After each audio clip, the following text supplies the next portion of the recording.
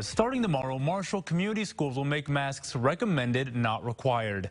An email sent to parents by Superintendent Kevin Ross reads in part, due to significant legal questions raised by a ruling by Judge Grischow of the Circuit Court in Sangamon County, who has declared IDPH's emergency rules void, Marshall schools beginning Monday, February 7th will modify COVID mitigations to masks recommended but not required.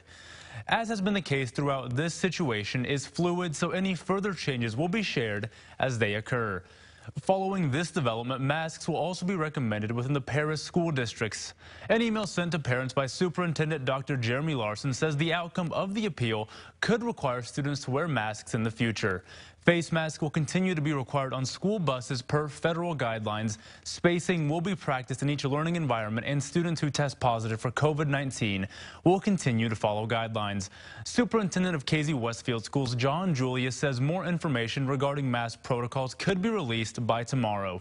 And Superintendent of Hutsonville Schools, Julie Kramer, says the district will continue its plans of keeping masks optional.